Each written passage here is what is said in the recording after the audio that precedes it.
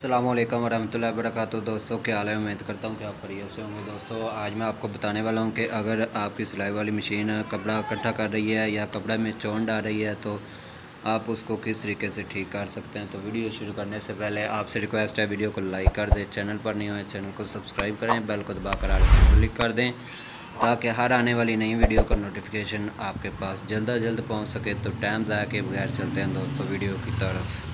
आपने सबसे पहले अपनी मशीन के टेंशन पोस्ट की, ये वाली स्प्रिंग की सेटिंग कर लेनी है। पहले भी मैंने आपको बताया कि आपने इसके किस तरीके से सेटिंग करनी है। तो आपने ये वाला पेज लूज़ करना है, लूज़ करके इसको इस तरीके से चेक करना है कि ना ही इसमें ज़्यादा ताड़ा हो, ना ही ये ज़्यादा लूज़ हो।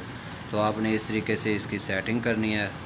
सेटिंग करके आपने दूसरा काम ये करना है कि आपने अपनी मशीन का ऊपर वाला धागा लूज़ कर लेना है और नीचे वाली डब्बी आपने निकाल कर निकाल कर ये पेच लूज़ करके और नीचे वाला भी आपने धागा लूज़ कर लेना है।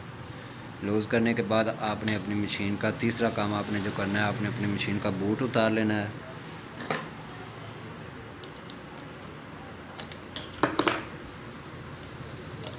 इस तरीके से आपने ये वाला पेच लूज़ करना है। लूज़ करने के बाद आपने अपनी मशीन का बूट उतार लेना है। बूट, इस तरीके से आपने बूट उतार लेना है बूट उतारने के बाद आपने दंदाल की सेटिंग करनी है दंदाल की सेटिंग आपने इस तरीके से करनी है कि आपने सुई को बिल्कुल ऊपर कर लेना है इस तरह। इस तरीके से आपने मशीन को घुमाकर सुई को बिल्कुल ऊपर कर लें ऊपर करके आपने ये चेक करना है इस तरीके से कि दंदाल की सेटिंग इस तरीके से करनी है कि दंदाल के जो दंदे हैं, वो खाली खाली दंदे निडल प्लेट के ऊपर आएँ तो इस तरीके से आपने इसकी सेटिंग करनी है, जो दंदाल के दंदे हैं, वो खाली दंदे जिमें जिस तरीके से ये वाली सेटिंग है, इस तरीके से आपने करनी है कि दंदाल के खाली दंदे निडल प्लेट के ऊपर आएँ ऊपर और नीचे दंदाल आपने इस तरीके से करने हैं कि आपने मशीन को उल्टा कर लेना है।